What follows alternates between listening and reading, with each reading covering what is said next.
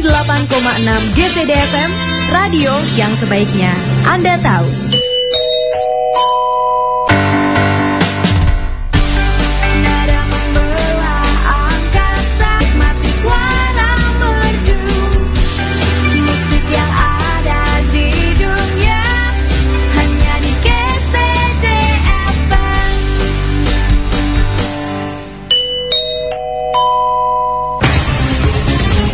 Mitra GCD FM, saatnya mendengarkan ruang pengumuman siang.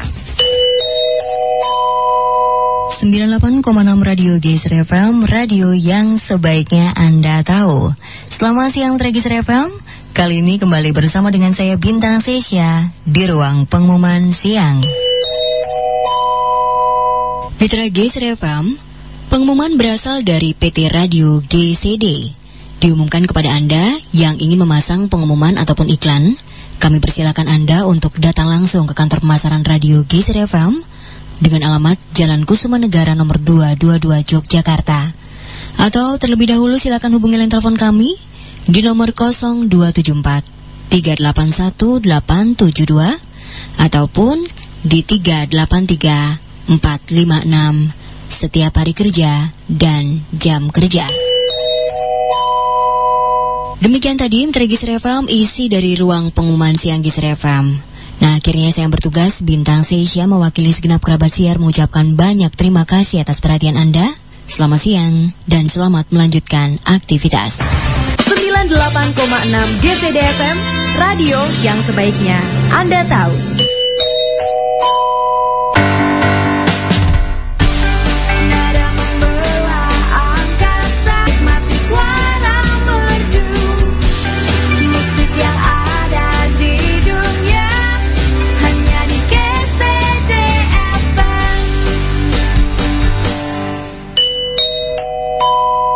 Baik, Mitra Gisri FM masih barengan sama saya Bintang Seisya di tembang-tembang lawas lepas ruang pengumuman siang ya. Kali ini Mitra Gisri FM mau ngingetin nih belum ngopi dari pagi pantesan suntuk gitu. Makanya ayo ngopi yuk. Mau ngopi yang mau yang instan yang serba simple ataupun pengen kopi yang rasanya strong udah gitu yang model kopi tuh ada ampas-ampasnya gitu loh. Gak usah bingung Tragiser FM semua pilihannya ada di top kopi gula aren. Tinggal pilih nih. Kalau anda suka yang praktis minumnya top kopi gula aren instan. Rasanya kekinian cocok banget buat anak muda hits masa kini. Dibikin panas cocok mau dibikin dingin-dingin pakai es batu juga wow enak banget. Nah buat anda yang sukanya kopi yang ada ampasnya minum ya. Top kopi gula aren tubruk dibuat dari biji kopi terbaik. Kopinya strong dipadu dengan manisnya gula aren. Masalah rasa udah nggak dilakukan lagi Tragiser FM legits banget. Mau pilih instan ataupun tubruk gula arennya ya pasti top kopi lah. Paling hits dan legit. Ya udah Tragiser FM masalah urusan ngopi silakan serahkan sama ahlinya top kopi kopinya orang Indonesia 98,6 GCD FM, radio yang sebaiknya Anda tahu.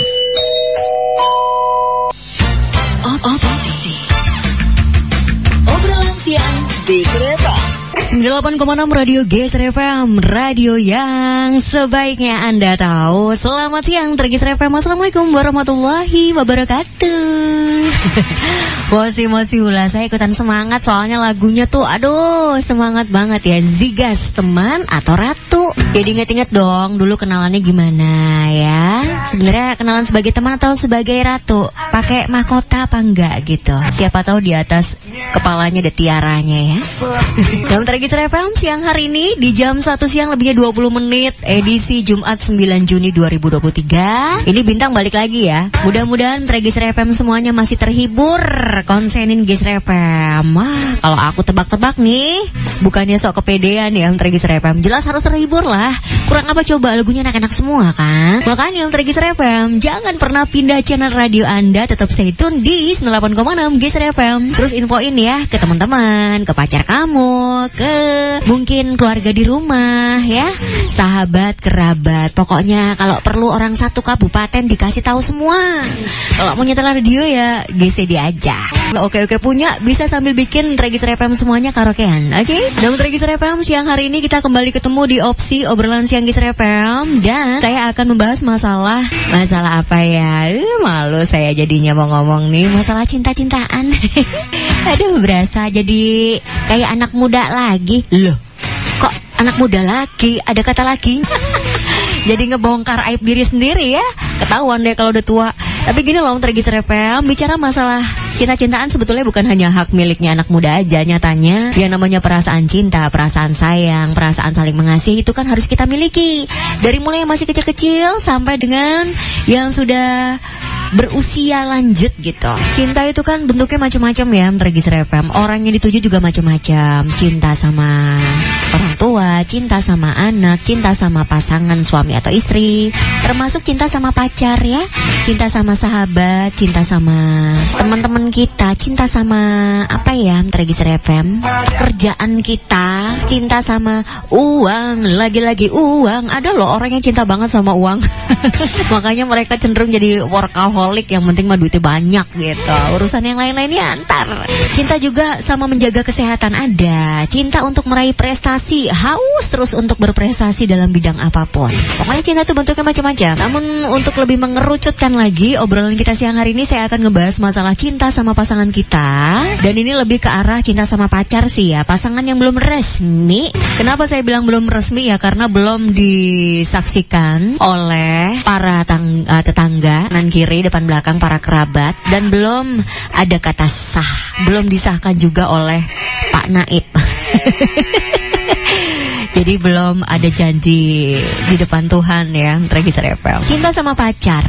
Yang lagi jatuh cinta sama pacarnya sih berbunga-bunga. Tapi gimana nih kabarnya buat anda yang kayaknya entah kenapa nih lambat laun semakin ke sini kok semakin ngerasain si pacar tuh tambah nyebelin ya mbak.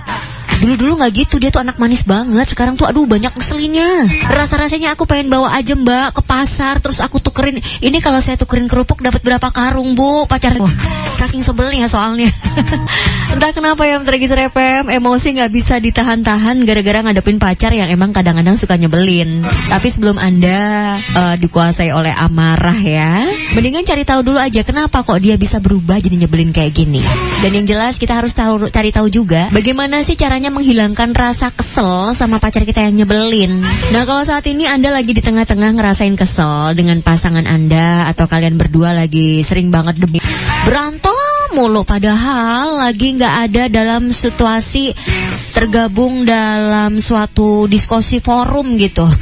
Berasa kayaknya maunya gontok-gontokan mulu berantem mulu ya. Nah tentu aja ini akan bikin pusing tujuh keliling ya Menteri FM saya satu keliling aja suka pusing capek pula ya. Keliling stadion maksudnya apalagi tujuh kali ya nggak sih? Nah tentunya yang tergeser FM hal ini jadi hal yang wajar banget terjadi sama pasangan. Baik itu statusnya masih pacaran ataupun mungkin pasangan resmi yang sudah suami istri. Kalau lagi emosi tentunya nggak untuk kita karena ada perasaan rindu sayang. Aku tuh sayang, aku tuh cinta, tapi campur gengsi juga yang akan bikin kita segen untuk menghubungi dia lebih dulu. Nah, saat lagi kesal sama pasangan, usahakan kita menyeimbangkan emosi supaya suasana perdebatannya nggak panas dan nggak mengarah ke hal-hal yang tidak kita inginkan ya. Terus gimana nih Tergis FM? Caranya buat menghilangkan rasa kesel sama pacar yang mungkin saat ini lagi banyak bikin keselnya. Sabar, sabar. Nyebar godong koro, sabar sawetoro. Opo to iki? 98,6 GCD FM, radio yang sebaiknya Anda tahu.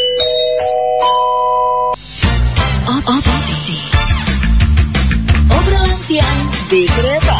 Oke, Trigis FM balik lagi nih sama Bintang di opsi obrolan siang. Kita akan cari tahu gimana caranya yang ngilangin kekeselan sama pacar yang lagi nyebelin banget. Wih, rasanya pengen di untel-untel. Tapi kok sayang gimana dong jadinya kan dilema ya Om Trigis FM. Mau tahu nggak tipsnya gimana untuk meredam kekesalan? Yang pertama adalah ya harus balik dulu ke diri kita sendiri lah. Introspeksi diri itu wajib. Dengan kita mengintrospeksi introspeksi diri, kita akan tahu kira-kira apa ya sebab dari kemarahan dia sama uh, kemarahan kita sama dia gitu. Kita harus paham kira-kira topik yang membuat kita marah tersebut pantas nggak ya diperdebatkan sama si dia. Jangan sampai kita ini buang-buang energi untuk emosi padahal yang sebenarnya bisa diselesaikan dengan kepala dingin. Contohnya aja, dia tuh lagi nyebelin banget kalau dia lagi udah janjian nih, udah jauh-jauh hari janjian terus terlambat datang karena ketiduran misalnya. Aduh, sorry, aku baru nyampe ketiduran. Kan rasanya kayaknya udah umop ya Tragis FM ya di hati, di kepala gitu kan. Gitu.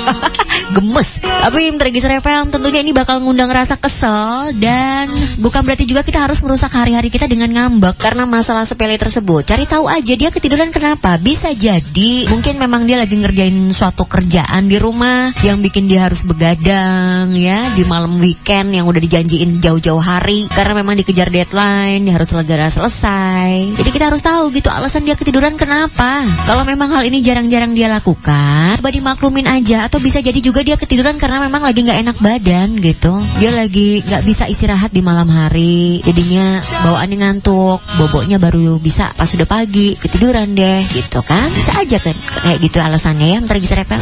Jadi sebaiknya bicarakan baik-baik sama pasangan dulu. Nah kemudian Tragis Repam utarakan perasaan kita. Jeleknya nih kadang-kadang kita ini bersikap males, enggan untuk ngomong apa yang kita rasakan.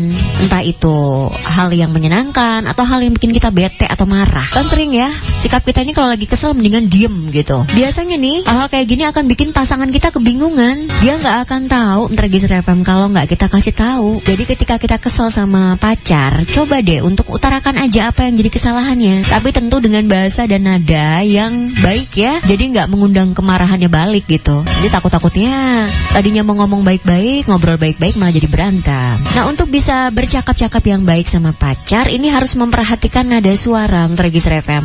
Kalau marah, tanpa kita sadari nada suara kita pasti akan meninggi. Ini menunjukkan kalau emosi kita lagi naik-naiknya nih. Nah meskipun lagi kesel banget, usahakan kita ngejaga nada suara ketika kita berbicara sama orang lain, sama siapa pun, termasuk sama pacar kita sendiri. Karena kalau misalnya kita nggak bisa kontrol, yang ada malah kita ngebentak-bentak, yelling atau berteriak sama dia, dan dia bakal makin males ngedengerin kita. Justru mungkin kita akan ditinggal, terus memperburuk hubungan kan. Jadi usahakan kontrol nada suara ketika berbicara untuk menyampaikan rasa kekesalan kita. Nah yang selanjutnya yang tergis FM adalah menunda. Maksudnya di sini adalah kalau kita lagi kesel-keselnya, lagi kebawa emosi dan belum siap untuk mengutarakan daripada nanti jadinya meledak-ledak, ya lebih baik ditunda dulu untuk berbicara dengan dia. Kita nggak perlu buru-buru untuk menyelesaikan masalah kalau lagi benar-benar kesal dan sulit untuk mengontrol emosi. Menjauh sejenak untuk menenangkan diri. Turunin dulu emosinya sebelum memulai diskusi sama si dia. Apa yang bikin Anda kesel? Kalau perlu dicatat dulu nih beberapa hal yang bikin kita kesel sama pacar kita di sebuah notes atau kertas gitu ya supaya kita kalau lagi ngomong nggak keluar dari topik permasalahan. Kemudian Tragis FM lampiaskan amarah kita dengan kegiatan yang positif. Sebenarnya Tragis FM amarah ini merupakan emosi yang sangat lumrah wajar dan manusiawi dan nggak ada yang salah dengan melampiaskan kemarahan karena bikin perasaan lebih tenang. Tapi usahakan ya jangan dengan hal yang tidak baik. Lampiaskan kemarahan tersebut untuk kegiatan yang positif. Kalau lagi marah, olahraga, ngelukis, tulis lagu, bikin cerpen, masak, apa-apa aja deh bersih-bersih rumah juga nggak apa-apa.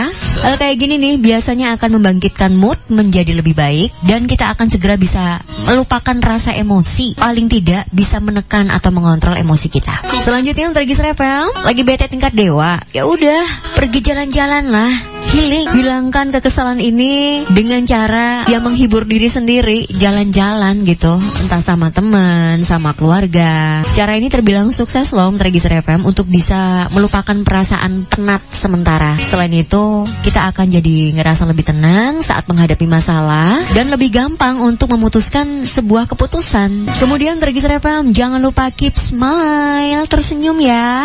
Emang bakal susah banget sih kalau lagi kesel, lagi pengen marah tapi suruh senyum gitu. Mana ada orang yang bisa, tapi ada loh kalau kita mau. Awali dengan sebuah tarikan nafas pelan dan dalam. Ini akan membuat kita ini bisa kembali tersenyum walaupun kita lagi ngerasa kesel atau marah. Karena hal ini akan sangat berdampak bagus sama mood kita. Karena tersenyum akan bikin suasana hati membaik. Sifat Anda bisa lebih positif, maka perasaan hati pun akan ikut positif.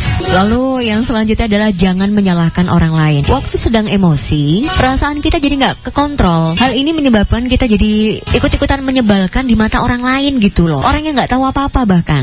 Biasanya nih orang yang lagi marah, ini cenderung akan cari kambing hitam, menyalahkan orang lain, lebih-lebih pasangannya sendiri yang membuat kesalahan. Hal ini kadang dilakukan nggak sadar ya untuk meringankan beban dan perasaan yang lagi kita rasakan. Namun tentu saja, hal ini akan berdampak buruk nih sama orang lain, orang yang tidak tahu menau tentang masalah Anda. Sehingga sangat, perlu diperhatikan ya Trigis FM. Kalau lagi marah, hendaknya jangan menyalah-nyalahkan orang lain ataupun pasangan supaya tidak memperkeruh suasana nih Trigis FM.